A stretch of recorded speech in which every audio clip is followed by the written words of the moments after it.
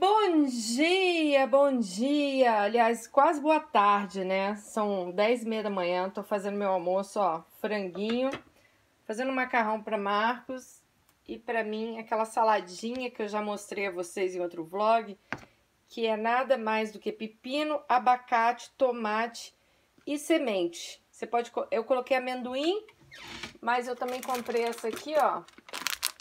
Então eu vou sempre coloco algumas sementes. Deixar aqui na geladeira.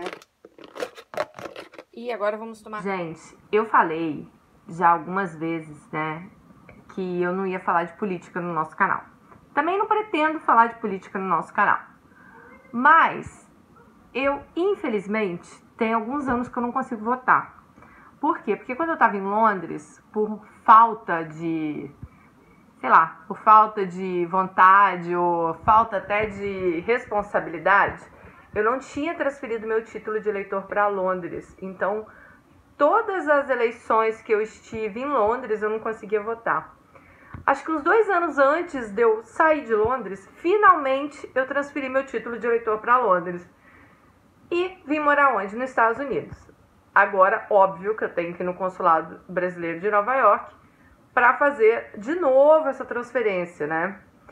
Só que como meu passaporte vence no início do ano, é, eu vou lá no início do ano fazer isso, porque agora também já não dá mais tempo, não tem mais como transferir.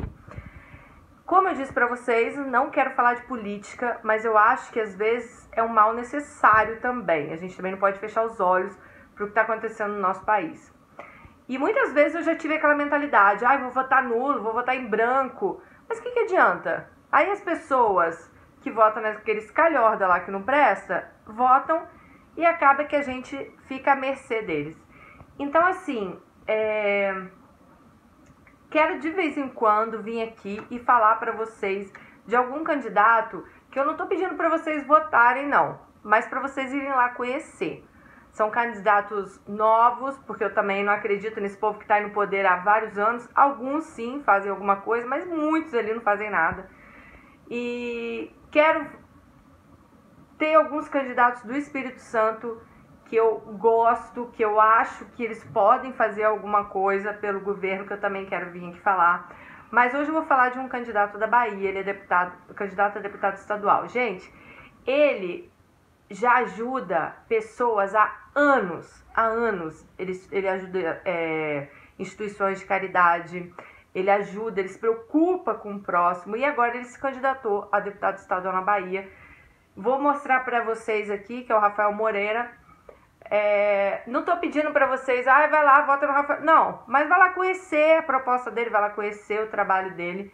Eu acho que vocês vão gostar, como eu gostei quando eu conheci sabe? Então, assim, eu acho que a gente tem sim que falar disso, não adianta, não adianta a gente fechar os olhos para tudo que tá acontecendo e falar, ah, eu vou votar nula, eu não voto em ninguém. Mas que, que adianta? Alguém vai lá, né?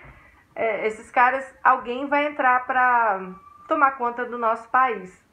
Então, que a gente tente, pelo menos, no que a gente acredita, né? A gente não, não sabe qual será também o, o, o governo deles, mas eu sou muito assim, a gente quer acreditar que vai melhorar. E eu acho que a gente tem que acreditar, não tem outra maneira. Bom, esse aqui é o Rafael Moreira, ó. Ele é candidato a deputado estadual pela Bahia, tá bom? O número dele é 19073. Ele tem uma página no Facebook, ó, para vocês irem lá dar uma olhadinha. O número tá cortado aí, mas é 19073. Então, ele é um dos candidatos a deputado estadual do estado da Bahia. Então você que me assiste, que mora aí na Bahia, dá uma olhadinha, né? Se você de repente não tem candidato, dá uma olhadinha nas propostas dele, dá uma olhadinha no que ele acredita. É um cara que já ajuda a população há muitos e muitos anos, mesmo antes de entrar para a política que está entrando agora. E eu acredito muito em pessoas assim, sabe, gente? Que já ajudam antes. Porque esse negócio de na hora que é candidato ir lá, começar a fazer, acontecer, é muito fácil. É muito fácil. Eu quero ver antes. O que a pessoa fez antes? O que ela estava ajudando? Ela se preocupava mesmo com o próximo? Eu acho que isso é importante. Bom, gente, eu vou almoçar agora. já temos mais alguns vídeos aqui ó para gravar. Se você não viu os vídeos dessa semana, vai aí no canal e tá cheio de mundo gringo, tá cheio de vlog, porque esse canal agora a gente tem vídeo de manhã e à tarde. Então, assim, eu espero que vocês gostem da maneira que tá. Tô super feliz, crescendo muitas visualizações de vocês, crescendo muito o nosso número de inscrito, tá bom? E vamos ao almocinho, frango, saladinha que eu já tinha mostrado e uma aguinha de coco. Estou aqui jogada por 20 minutos até eu ir trabalhar, conversando com a minha amiga aqui, Silvana, que trabalha comigo na Amazon. Beijo, amiga, ela vê meus vídeos. Ai, que preguiça, gente. Almocei, mostrei pra vocês, né? E agora vamos lá pra mais um dia de trabalho. Gente, vocês estão gostando desses vlogs diários? Acho que vai ficar muito boring. Tô achando, me deram a ideia assim, Dani, em vez de botar os vlogs diários todo dia, põe Mundo Gringo, segunda, vlog. Terça, quarta, caso de família, quinta, vlog, sexta, me conte segredo. O que, vocês acham? Vocês acham melhor assim de manhã e de tarde?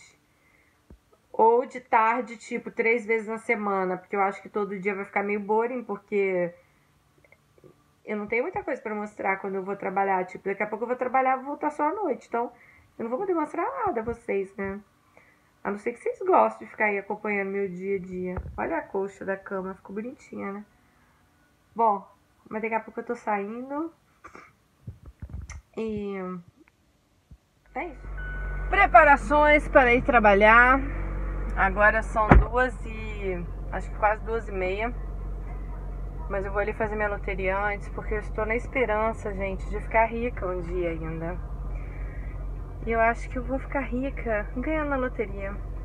Porque quem ganha, quem joga tem chance de ganhar, né? Assim, quem não joga já não tem chance. Mas eu jogo. Então pode ser que um dia eu ganhe. E no dia que eu ganhar. Deixa eu ganhar primeiro, depois eu falo pra vocês o que eu vou fazer com o dinheiro. então simbora lá. Meu Deus, que calor! 31 graus lá em casa. Vou ter... ah, nossa, não dá, gente. Não dá. O que aconteceu aqui? Cadê meu ar-condicionado, gente? Não tá saindo nada aqui. Eu, hein? Tá louco. Ah, enfim. Ó. Já fiz meu joguinho. Comprei uma raspadinha de um dólar. Eu posso ganhar 20 mil. O que, que vocês acham? Gente, eu já ganhei dinheiro na raspadinha lá em Londres, sério.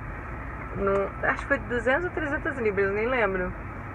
Mas se eu ganhei, gastei um dólar, se eu ganhar 200 dólares, eu tô feliz. Mas se eu ganhar 20 mil dólares, tô mais feliz ainda. Ó, essa raspadinha é o seguinte. Esses números que estão aqui, 10, 13, se der um desses números aqui, aí eu ganho. Ai, vamos ver. 11. Nada. Ah, que saco. 18. Nada. Perdi um dólar, gente. Não ganhei. Ganhou o que Maria ganhou atrás da horta. O que, que Maria ganhou atrás da horta? Por que esse ditado, hein? Ai, meu Deus! Saco! Como é difícil ficar rica. Gente, essa semana passada, é, um amigo meu do YouTube, que é o Brian Fritz, ele tem um canal aí, acho que muitos de vocês devem conhecer, que ele tem mais de 500 mil inscritos. É um rapaz simples do Piauí, né? Inclusive, eu conheci o Brian na época que eu conheci o Whindersson Nunes, porque eles dividiam. O, o Whindersson morava, na verdade, estava muito na casa do Brian. Isso na época que o Whindersson morava no Piauí, hein? Nem tinha começado a ser esse boom todo. E o Brian, gente, ele com uma promessa de um pastor, né, brasileiro que mora na Itália, foi para a Itália para tirar a cidadania italiana dele, mas não foi nada de graça não. O cara, Brian pagou, acho que já tinha gastado 3.800 euros, uma coisa assim. E esse pastor simplesmente pegou esse dinheiro e não fez nada. Nada. Imagina, hein? Cara de pau, né? Saber que o cara tem um puta canal no YouTube que poderia chegar lá e acabar com, com ele. E essa semana eu faço parte de um grupo de mulheres lá da, da Europa, da Inglaterra ainda, e fizeram um post de uma menina que ela estava desesperada na Itália porque ela tinha vendido o apartamento dela no Brasil. Ela, o marido e um filho estavam na Itália e também foram enganados por um assessor lá para fazer a cidadania italiana. Pagaram e também ninguém fez nada eu fico pensando na capacidade que o ser humano tem de enganar o outro, né? Cara, você pegar o dinheiro. Gente, sério, isso não entra na minha cabeça. Você pegar o dinheiro de uma pessoa, falar que vai fazer alguma coisa, saber que você não vai fazer, porque você nem sabe fazer, né? Pelo que foi provado ali, parece que eles nem sabiam como fazia. E deixar a pessoa numa situação dessa, sabe? Tanto o Brian, ele está hoje de favor na casa de uma família na Itália que e o do Brian ainda foi pior, porque o cara não queria devolver os documentos dele. Devolveu agora. Porque o Brian começou a fazer stories e falou que ia botar o um nome. Acho que aí que o cara acordou, devolveu os documentos. Mas o dinheiro já não devolveu. Tudo que o Brian gastou já não vai voltar para ele. E o Brian está de favor na casa de uma família na Itália. E essa menina, ela estava simplesmente na rua. Ela, o marido e o filho. Sim, gente, na rua pessoas que foram, venderam tudo no Brasil e foram enganados. Aí eu penso, essa menina, minto, ela estava na rua porque ela não estava achando lugar para morar. Porque a casa que foi prometida lá para ela ficar enquanto a assessoria ficava pronta, botar, gente, é uma confusão essas histórias. Então a menina não tinha lugar para morar. A sorte que ela, como vendeu o apartamento, né? Ela tinha um dinheiro lá para pagar o hotel, mas não dá para você ficar na Itália vivendo de hotel.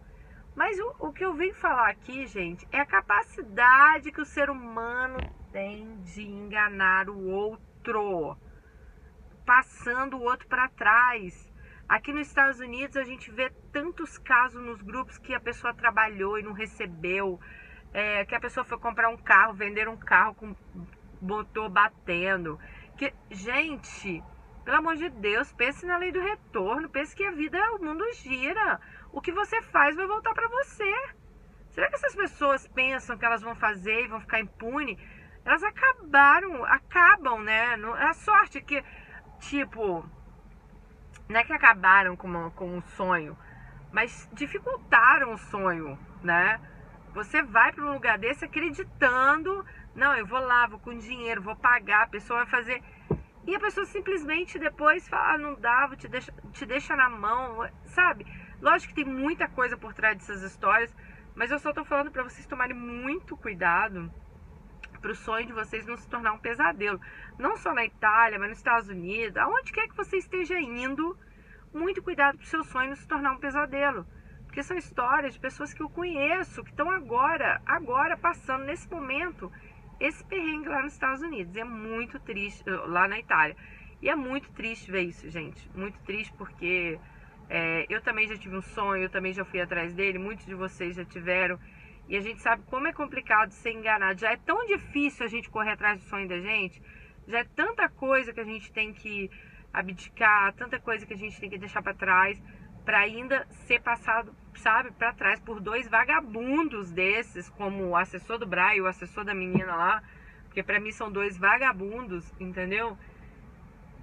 Que, sinceramente, gente, antes de ver um negócio desse, procure, mas não procure com uma pessoa, não, procure com várias pessoas, saber se deu certo, se fizeram para eles, sabe, como que foi a experiência eu acho que está faltando mais informação. Não fique acreditando em tudo que você ouve uma vez só. Não acredite em videozinhos que vocês veem no YouTube. Não tô falando de tudo, tá, gente? Procurem sim, procurem saber a realidade. Porque muitas vezes também em canais do YouTube a gente fala a realidade e tem gente que fala: "Ah, você tá acabando com o nosso sonho, você isso, você aquilo". Então as pessoas ficam meio assim de falar: as experiências erradas que elas tiveram. Mas eu acho que tem que ser faladas, sabe? A gente tem que falar. Porque o que deu errado para mim, pode amanhã de repente não dar errado para você, porque você já vai vir, né? Você já vai vir esperta, você já vai vir, não, peraí. Aconteceu com ela, mas não vai acontecer comigo, né? Vou tomar mais cuidado. Então, muito cuidado, muito cuidado. Esse é o recado aí. Gente, já saí da Amazon, são sete e meia agora. Indo pra casa, indo pra casa, graças a Deus. Olha a cara de cansada. Marcos já jantou, eu já jantei.